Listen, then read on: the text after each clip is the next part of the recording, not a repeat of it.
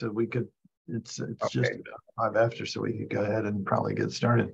We have nine people right now. Yeah, we can start it. Thank you very much. I- I'm pleased to talk to you about where our studies of the influence of the microbiota on the brain have been going. In order to make this comprehensive and clear, I need to review the background both of the field and of, my work in this area. And when I say neurodegeneration, I mean Alzheimer, Parkinson's, and ALS. And when I say microbiota, I mean all the uh, bacteria, fungi, and viruses that um, are in and on our bodies. And when I say the gut, I mean the entire gut, starting in the nose and mouth, uh, going all the way down. It's not only the colon. And I will talk about uh, various aspects of this and I'm pleased to acknowledge my thanks to my collaborators, Levi Beverly, Ramesh Gupta, and Harry Bodolori in microbiology, anatomy, and medicine, and, and others in Japan and the United Kingdom. We're grateful for our support from these foundations, agencies, and institutes, particularly reason, recently, to my great surprise, uh, there's funding from the US Department of Defense for this work. And I have previously talked about my first book, which is about the four factors that impact how you age. This book has a comprehensive discussion of what everybody can do to enhance the interactions of the microbiota with the brain and why this is important for aging. But I will talk here today about how the microbiota are involved in the brain, but I won't have really time to discuss what everybody can do to enhance these interactions themselves through gene therapy in the kitchen, which means uh, through their diet. I also need to discuss what is my second book, which is um, nearing completion 120 lessons in critical thinking for young doctors. For young doctors means medical students, residents, postdoctoral fellows, graduate students, dental students, and so on. And the idea is, I believe, uh, it's very important to be aware of how we think and not allow it to be uh, done so so-called on autopilot. Because if you think about science and about our patients, uh, it's in, important to notice how we make judgments, how we perceive, what are we paying attention to. So several times in the process of this talk, I will mention conceptual items, which I think are uh, reflective of how we think and both errors and positive aspects of thinking. To start with, the negative aspect perhaps is just to be uh, up to date. I think it's important for everybody to know about these new Alzheimer antibodies. There's aducanumab and lecanemab. There's also donanemab, but that the data on donanemab are not yet completely published. And these two agents have been uh, approved by the FDA or are, about to be approved. And uh, I will not support their use, not myself. I won't be prescribing either of them. The reasons are shown here that there are seven problems with this. They are monoclonal antibodies targeting the amyloid protein. And actually, this protein is not linked to cognitive impairment. I believe it's the wrong target. And the benefit for lecanemab is only 27%, which is about two points on an, on an Alzheimer's disease assessment scale score of 70 points. And would you really pay $26,000 to go up two points on a 70 point scale? the risk of bleeding and swelling in the brain is significant with both of these antibodies. The cost, the cost is very high. Uh, lecanemab made atrophy worse, and that's not a good thing. I believe more significantly, the double blinding may not have worked because subjects could guess which group they're in based on their side effects. But most notably, in regard to my interest in thinking and conceptualization, the FDA principal deputy commissioner a few years ago in approving aducanumab, despite the fact that the advisory board of 10 distinguished neurologists and pharmacologists had advised against it, she said, we have to stop thinking empirical evaluation is the only way of evaluating truth. What she was approving the drug based on its effect on the biomarkers, not on its effect on the patient. I think this is really very dangerous. And uh, just to be sure I knew what I was thinking here, I looked up the word empirical, and empirical means evidence. And she's saying, oh, we should stop thinking about evidence. And what is uh, what is going on? How could she get to be commissioner of FDA if she thinks we don't need evidence? I thought we finished we, we were finished with this argument with Aristotle. But for the rest of our going beyond the, these new drugs. And I will be glad to have your questions later, either during the meeting, of course, or later by email. I propose that Alzheimer, Parkinson's, and ALS, they're all initiated by interactions. These interactions involve prion-like misfolding and inflammation. And the key factor is uh, it's relatively easy to influence the microbial populations inside our body through diet, supplements like polyphenols, antioxidants, fiber, and probiotics, and fecal microbiota transplant or FMT. And there will be drugs and are drugs in development, agents in development, which will affect the brain through effects on the microbiota. My key question here is why do people get these diseases? and again, here in my interest in conceptualization and critical thinking, this is a question which we, has not been answered. So the amyloid cascade hypothesis does not explain how patients get the disease. For Alzheimer, we must remember 99% are not caused by genes. The answer to this question, why do they get it, is that we don't know. So if someone has an E4 two E4 alleles, they have a high risk, maybe elevated 10 to 12 times compared to others. However, at age 80, about 40% of them don't have it, if they live that long, of course. I think this shows that it's not the cause of the disease, even in someone who has two copies of this gene. There must be something else. The amyloid cascade hypothesis of John Hardy, Dennis Selkoe, and Rudy Tanzi explains what happens in the 1% who have a causative gene which affects amyloid beta protein, but not in the 99%, which are the vast majority of cases. In addressing this question, Stanley Prusiner, who had the Nobel Prize in 1997, for the prion concept, he proposed that the initiation is random. It's stochastic.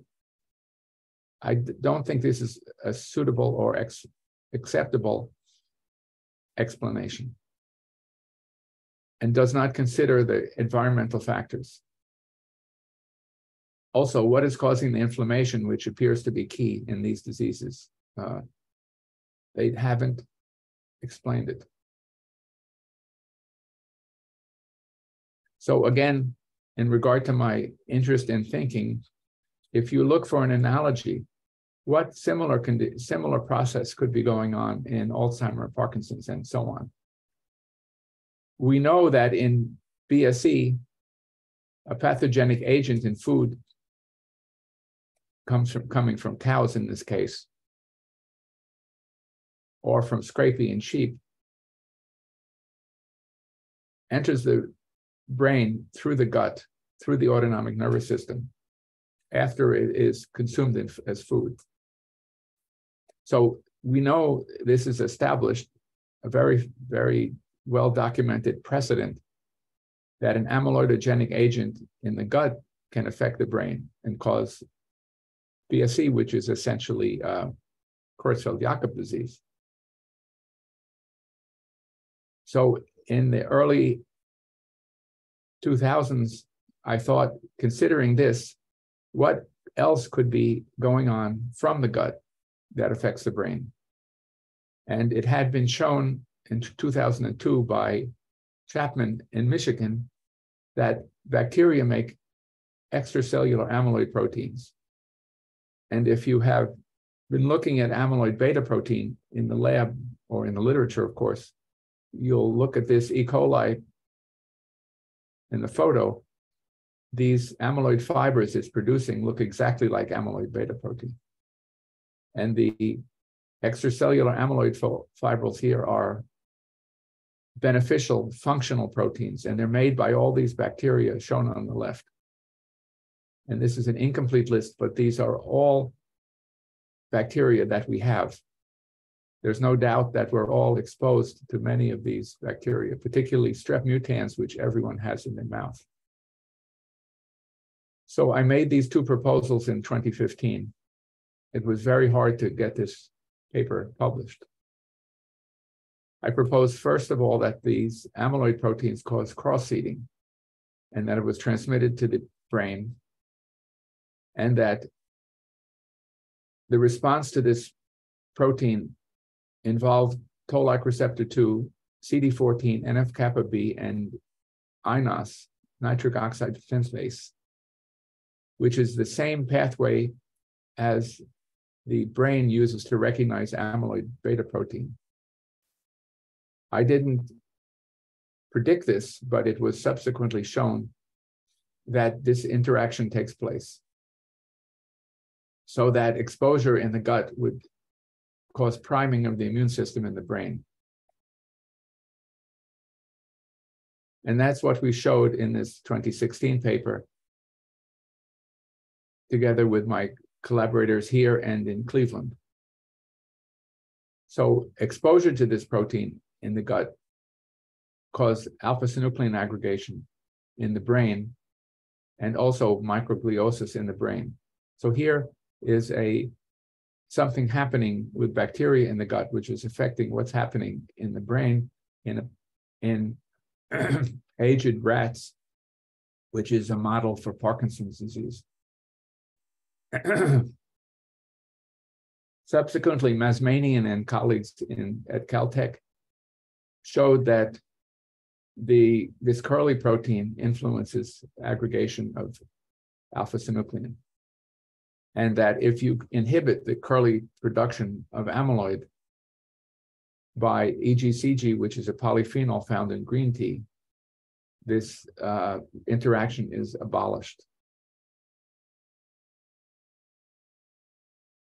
It's very interesting that this Sampson work originally showed that the bacteria were doing something important, but they, they wouldn't say what it was. It took them two or three years to publish their next paper showing that it was the curly protein.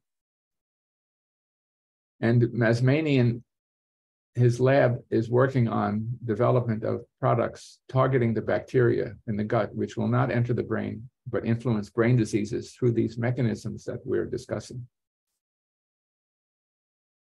More recently, Wang in Hong Kong showed that curly co-localizes with alpha-synuclein, shown by the red dot. This is in nematodes.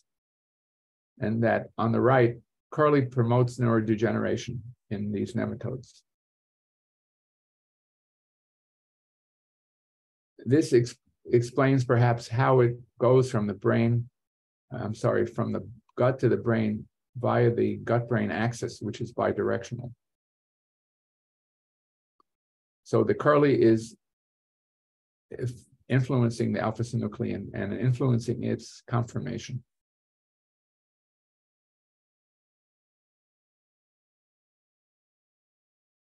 I had proposed at that time that these mechanisms could be involved in all proteinopathies of neurodegeneration, which would include Alzheimer, Parkinson's, frontal temporal lobar degeneration, previously called Pick's disease, ALS, motor neuron disease, Lewy body disease, cortical basal degeneration, multiple system atrophy, and progressive supranuclear palsy.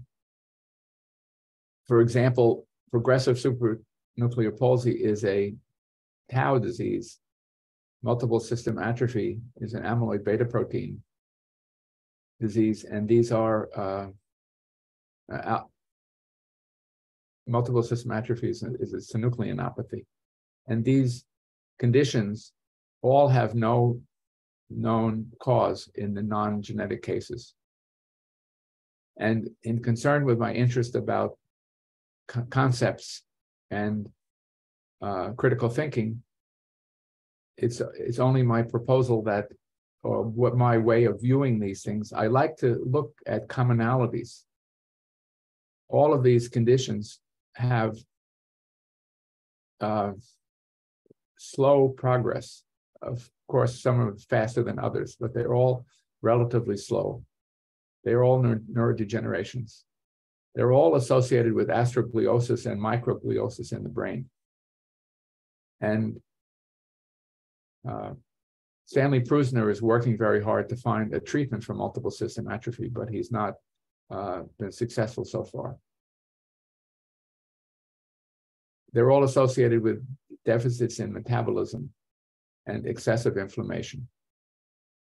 And what I see as a very exciting opportunity in this field is that if we could figure out an effective therapy for one of these conditions, it might turn out to be valuable in others at the same time.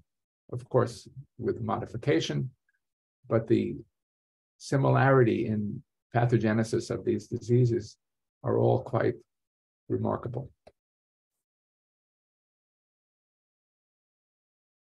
Uh, furthermore, we published this review uh, in 2020 about interaction of the microbiota in stroke.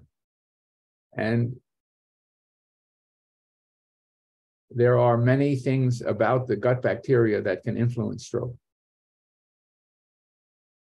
Clots have been shown to contain bacteria, and the bacteria that are found in clots in cerebral vessels tend to be those associated with the mouth. Furthermore, uh, saccular aneurysms in the brain have been shown to contain bacteria, also sometimes bacteria found normally in the mouth the pathogenic relationship of these bacteria to the stroke or to the aneurysms is not uh, documented because it could be that the bacteria are just transiently present, such as after a dental procedure or uh, vigorous mouthwashing. But it is enough to consider uh, a role that they might play. And it is already known that periodontitis, which is the most common bacterial infection in the mouth, is a risk factor for Alzheimer's disease, stroke, and heart disease. So I don't understand this myself. Again, talking about concepts and ideas.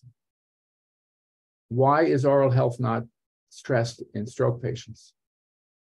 And it could be I'm just not informed about what happens in the office with patients with stroke.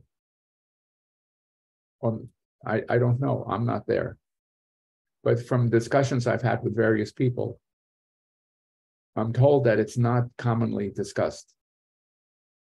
But it is something, it has absolutely no risk and no cost. So I myself discuss oral health with every patient, regardless of what's the matter with them. Of course, sometimes they don't have any teeth, and then that's a bit too late to tell them to take care of their mouth. But the truth is that taking care of your teeth is good for the brain. It's also good for your teeth, but everybody knows that, I hope. But they don't know that it's good for the brain. So that this is something we need to be uh, expressing to our patients, even though they don't come here, they don't come to see us with a question like, uh, you know, Dr. Friedland, should I should I brush my teeth or not? They don't. That's not uh, why they're coming. Similarly, herpes zoster is a horrible disease called shingles, which we can prevent, or at least the risk can be diminished more than half with a vaccine. And our patients don't come to see us with a question, uh, Dr. Friedland, what can I do to avoid getting shingles? But it's something that everyone over 50, except rare patients who have some heart, severe immune deficiency, they should all be vaccinated. And we should be mentioning this to all our patients, regardless of what, why they are coming to see us.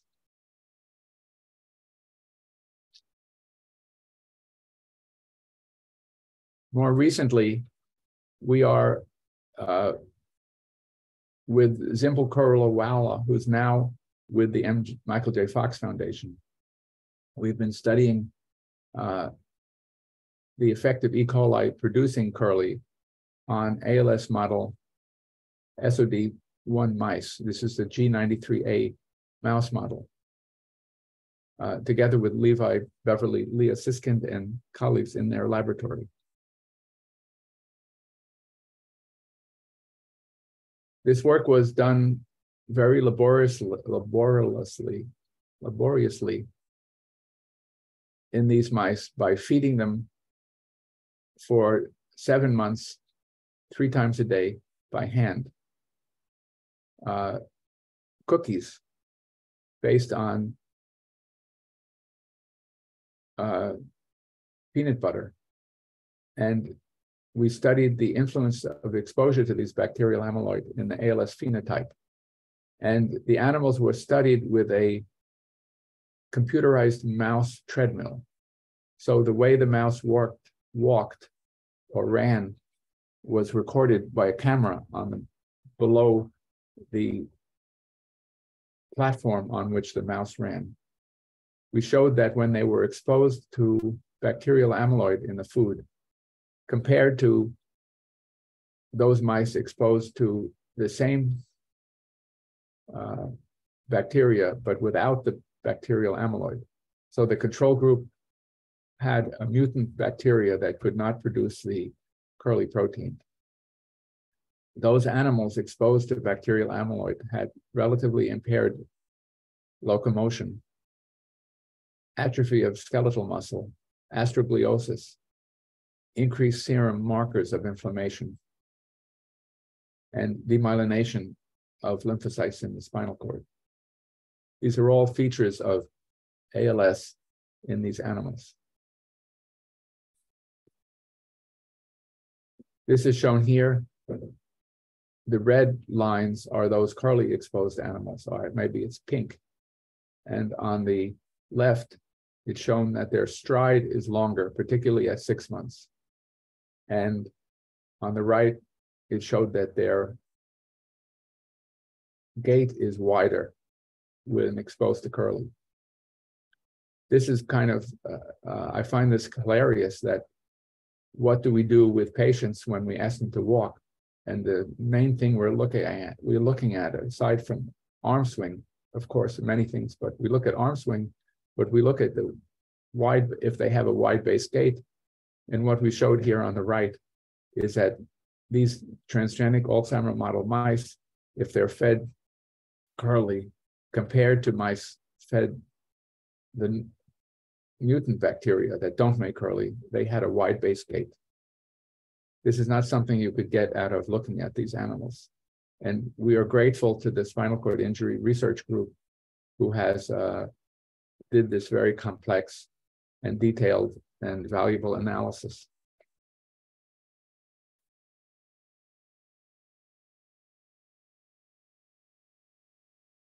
Uh, more recently, during my sabbatical year at the Kyoto University, uh, Kyoto Prefectural University of Medicine and Kyoto Institute of Technology, we studied these things in Drosophila.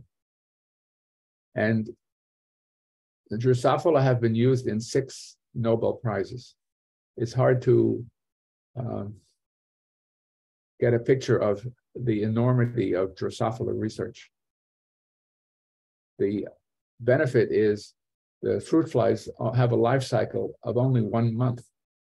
And an experiment in, in fruit flies might last two to three months. A similar project in mice might last one and a half to two years. And of course, in humans, it would most likely be impossible. But the genetics of Drosophila are extremely easy to manipulate, relatively easy to manipulate. So whatever you want to do with the genes, you can buy a fly which has a model of any known genetic disease, perhaps. And you can get a thousand animals with the gene in a few days or, or maybe a week. And the re research with the flies involves moving them from tube to tube and collecting the virgin females and making uh, new babies and mixing one genotype with another. Also, of course, the food that they have is completely under our control. And uh, they don't have a very complex microbiota, of course, but it is known what organisms they have. And they do have a uh, epithelium in their gut and nutrient interactions has been widely demonstrated. We published this paper about how this can be a model system, but our work was uh, rather laborious when we found the right food for these particular mice. This slide shows in these uh, Q331K ALS model transgenic Drosophila that exposure to the curly did not influence climbing on the left. In uh, depending on exposure to curly. And uh, this was disappointing that we did not find evidence of what we had anticipated. But this work is continuing with different transgenic animals, for which are models for ALS. So to, to summarize a bit, it's been shown that animals that have a gene for Alzheimer's disease, the presenilin 1 APP gene, have reduced amyloid pathology. So these are germ-free mice who have no bacteria. And when I say bacteria, I mean also um, viruses and other parasites and other microbes. So why would the Alzheimer's disease phenotype in mice be helped by the absence of the bacteria? The Mazmanian group suggests that the difference is the curly that's produced by the bacteria. This was shown by Harach and Dodia and colleagues shown that there's a sex-specific effect. We found a sex-specific effect in ALS model mice it was worse in males than females, but that the microglia were important contributors to the amyloidosis in these animals. And that uh, this is quite remarkable now that it's shown by Marco Prince from Freiburg and others that the morphology and activity of microglia in the brain is influenced by gut bacteria. And the microglia are involved in just about everything the brain does. So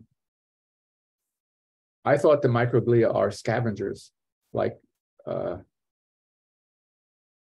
phagocytes in the blood, so that if you have an infection in the brain or a brain injury, the microglia will clean up the debris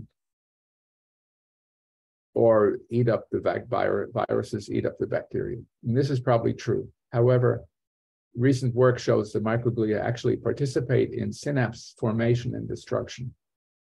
So learning involves making new synapses and destroying other synapses that are not needed. So perhaps forgetting involves destruction of neuronal connections.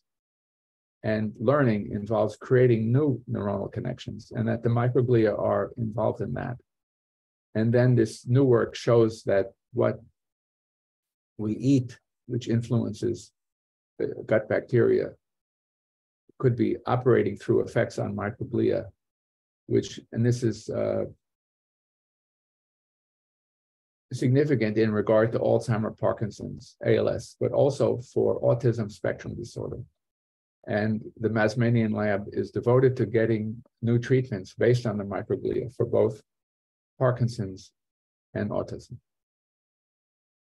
There is a clinical trial underway for fecal microbiota transplant in ALS in Italy. And uh, in this Cryan Mazmanian review article in Science last year, they pointed out that there's already evidence that fecal microbiota transplant in humans is safe and it can be done, and that uh, this involves taking microbial bacteria or microbial samples, which is basically feces, and administering them to uh, humans from one person to another. And this has already been shown to be very effective for uh, Clostridium difficile, which I think has a new name, uh, Clostridioides. But uh, the morbidity of this GI disease was very high, and it was difficult to treat with antibiotics. But with fecal microbiota transplant, it was shown that the bacterial populations can be changed and uh, the mor- mortality of the disease is, has declined quite significantly.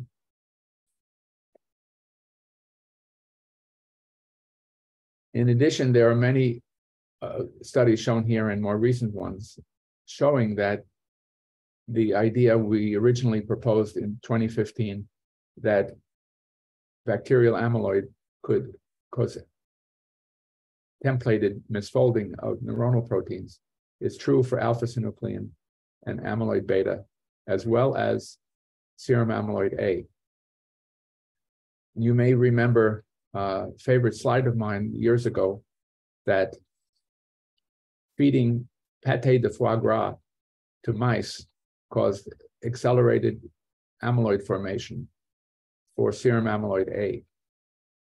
So that the uh, amyloid found in food can interact with amyloid formation in the body.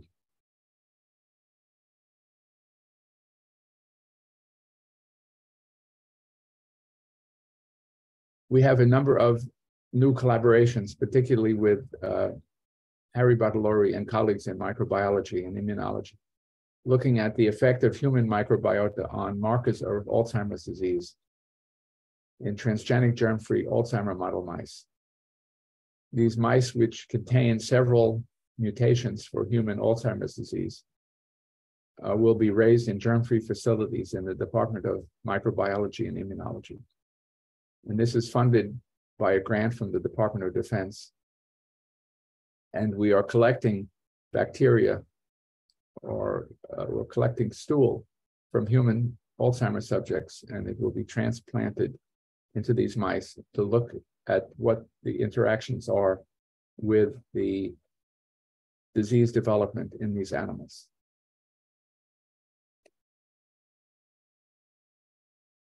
also with Levi Beverly and colleagues in the Brown Cancer Center and Department of Medicine, we're looking at, we will be looking at copper complexes that interact with copper deficient SOD1. So superoxide dismutase is the first and one of the most important ALS genes. And it has a copper association. And how the copper complexes may interact with this will be studied in this new project. In conclusion, the microbiota have been with us for many years. And they evolved with us and we evolved with them. This is not a recent development. And they influence the brain, and the brain influences the bacteria. So it has been said that the bacteria are gardened by the immune system.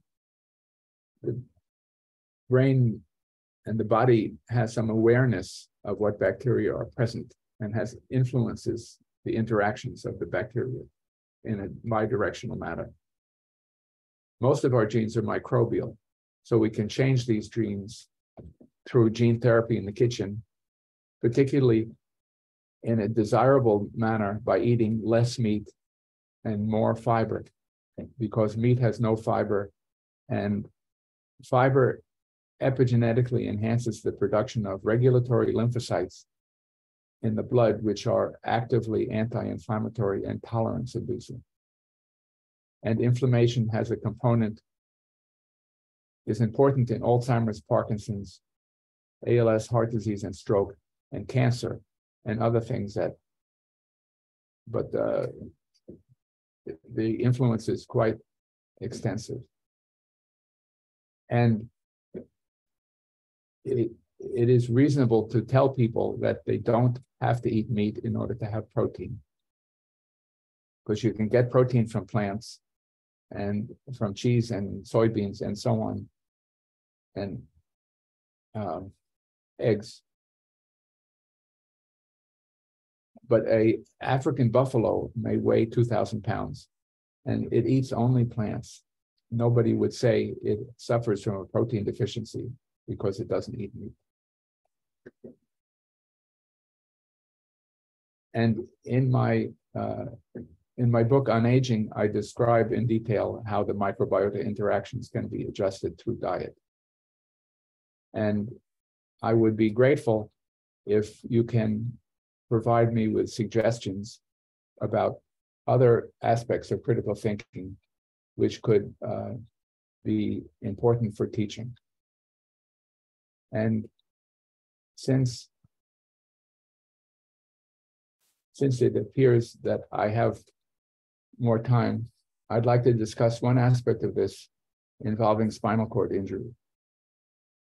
It's my understanding that at U of L and also at other distinguished spinal cord injury research programs, the spinal cord injury is produced by dropping a weight on the naked spinal cord.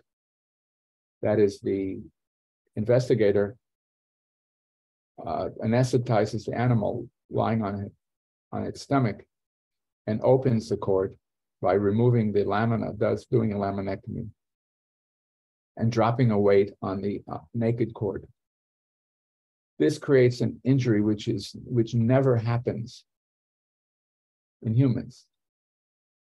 And it's my idea in considering animal models that a basic concept would be the animal model should be as close to the human situation as possible if we are to learn about the human situation. And uh, I came up with this objection to the use of a model involving the naked cord a few years ago, not exactly understanding why that would make a difference. It just seemed to me a reasonable proposal that it would be more appropriate to drop the weight on the back and create the injury in a similar manner to the way it's done in humans. Now, I'm not proposing here that we get the mice to ride a motorcycle or to wear a bandana around their head, uh, but just that it is possible to have a more similar model by uh, dropping the weight on the cord before the lamina are removed, without removing the lamina. And only in the past six months have I learned that there is bone marrow in the skull. That shouldn't be surprising, but it's not something I ever thought about before. And I discussed this with a hematologist, and he agrees there is probably bone marrow in the spine, in the bones in the spine, in the lamina, in the dorsal processes, and in the vertebral bodies. And that means in a in a real in a spinal cord injury that affects a human, there is it not only is there the trauma part, which of course is is horrible and pathogenic and extreme, but the site of the wound is contaminated with dirt from the skin and the road, perhaps, and the clothing, and the immune cells in the bones are going to be interacting with the spinal cord and perhaps influencing repair. And um, we know that there's an inflammatory component for recovery from spinal cord injury, just as there's an inflammatory component for probably everything then, uh, for all pathologies. But that this is my uh, conceptualization of why it would be more appropriate to look at spinal cord injury with um, a model which more closely resembles the human situation. Finally, another aspect of this in considering how animal models are chosen is, in my opinion, the animal model needs to be chosen in regard to the human disease because what we're really interested in is the human disease. But there are those I have spoken to who thinks think that they do not need to be concerned primarily with the human disease. They're perfectly happy to study it in regard to animals without considering uh, in detail what it means for humans. And in that regard, I point out that the funding usually comes from the NIH and not the NIMB. The NIH, of course, is the National Institute of Health, and it's not the National Institute of Mouse Biology. And uh, I'd be very grateful to have your questions, and thank you for your attention.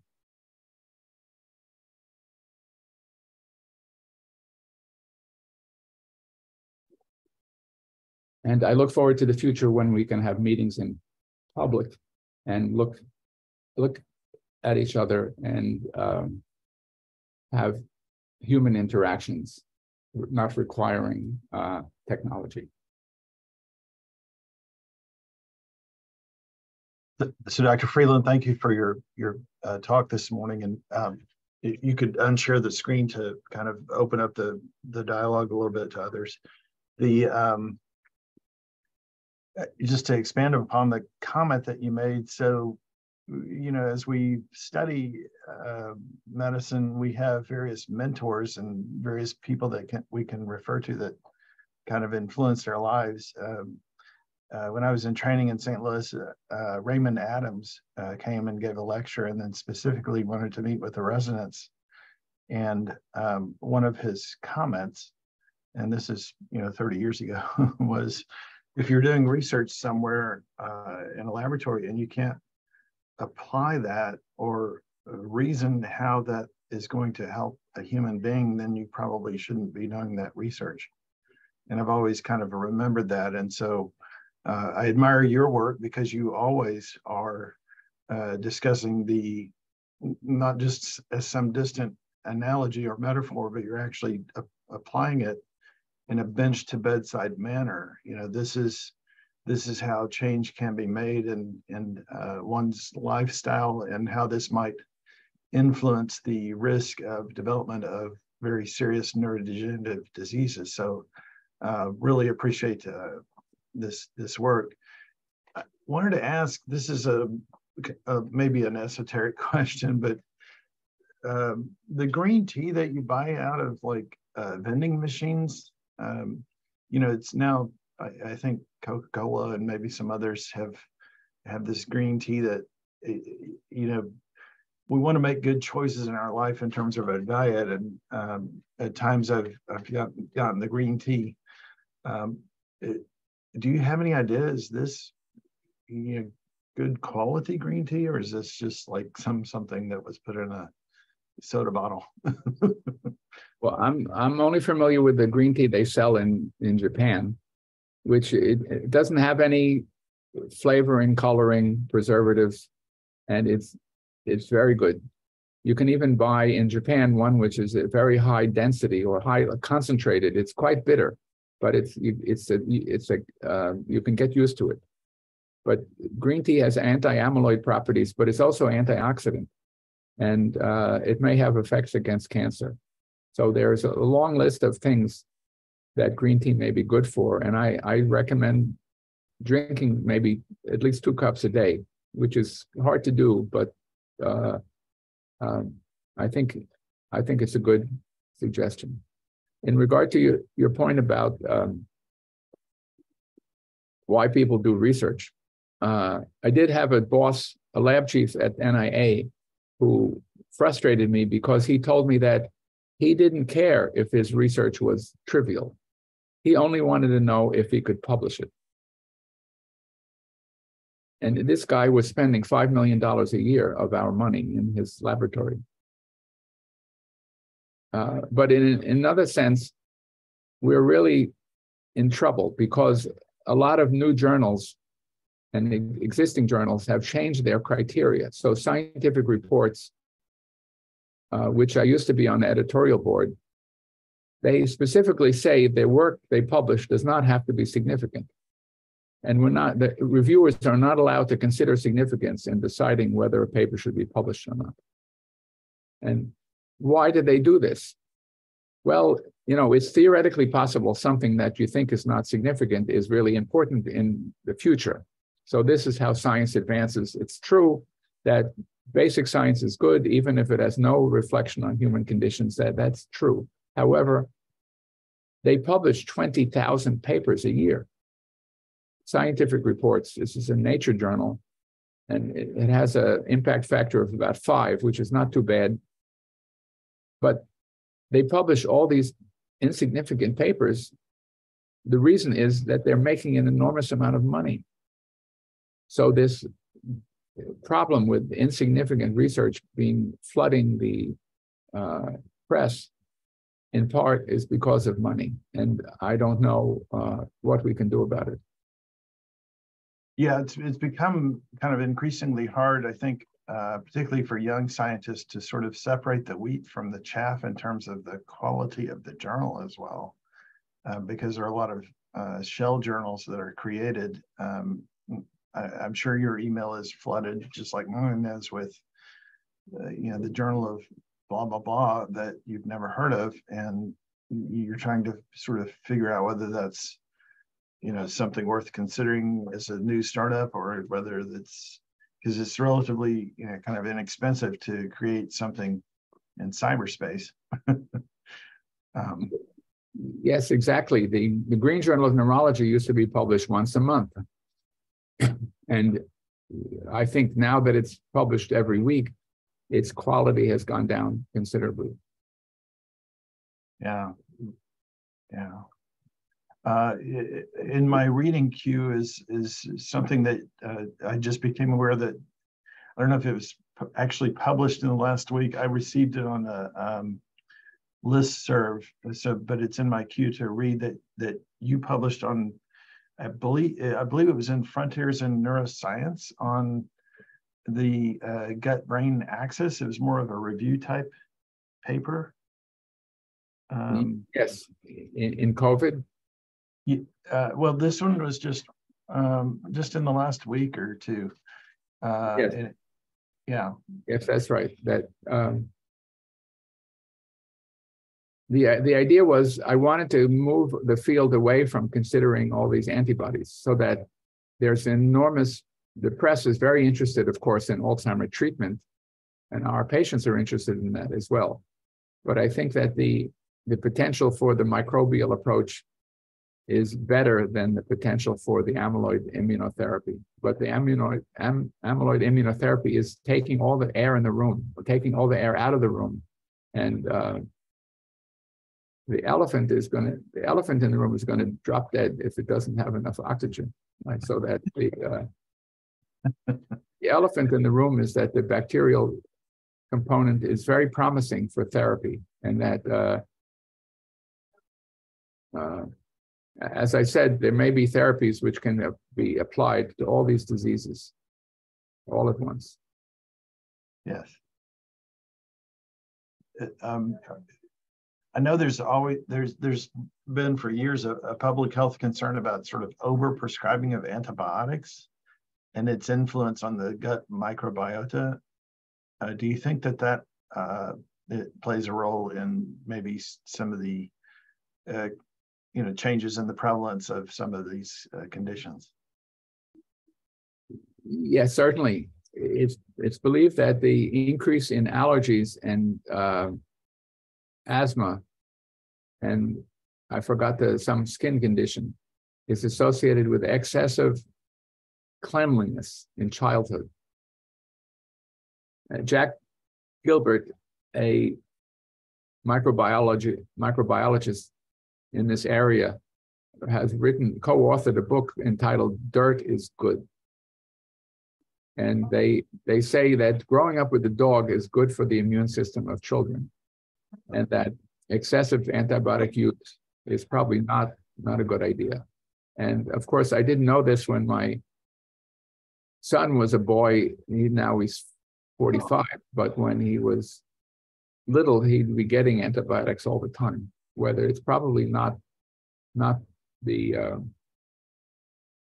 the best thing.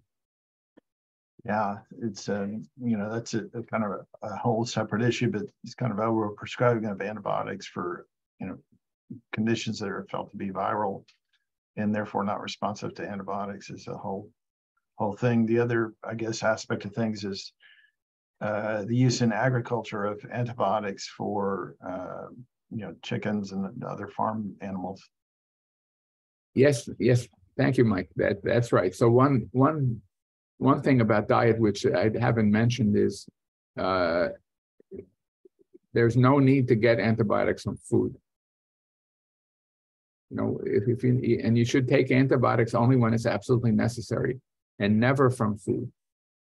The only reason it's used in food is it helps the producer to make the producer of the food to make more money.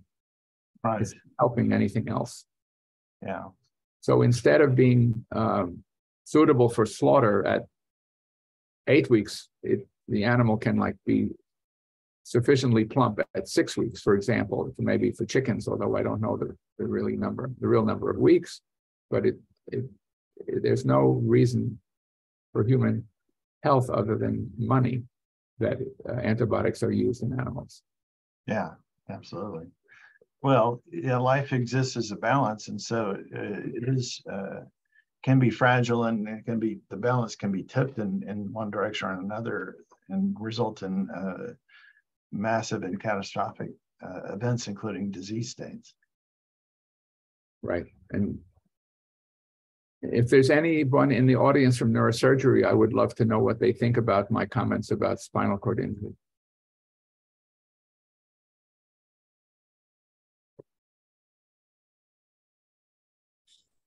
it's Alex Ovechkin from spinal cord injury group, but Alex. from the from the um, the clinical side, um, rehab side.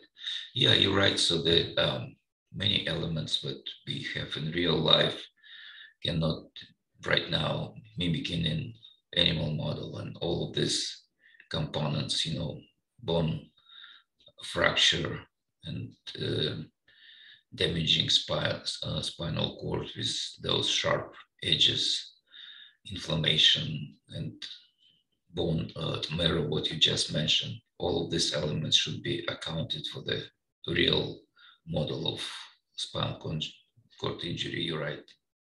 Thank you. Thank you.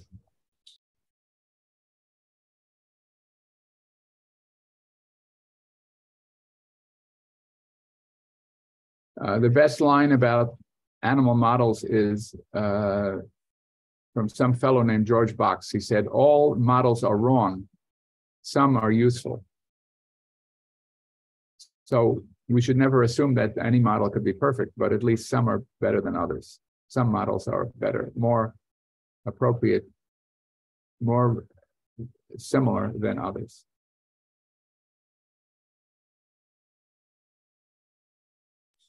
Yeah, so um,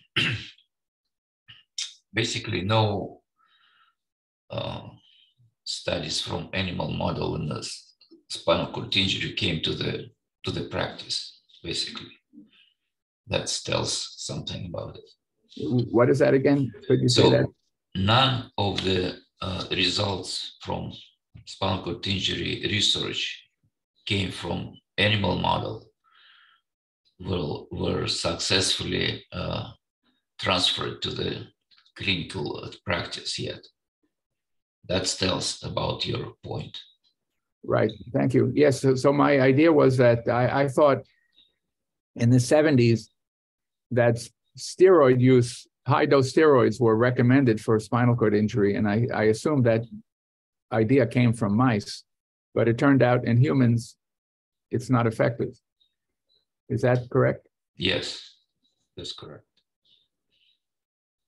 And many others. Right. It sounds kind of ridiculous, but um, uh, mice are not little men in white fur suits. Yeah, agree.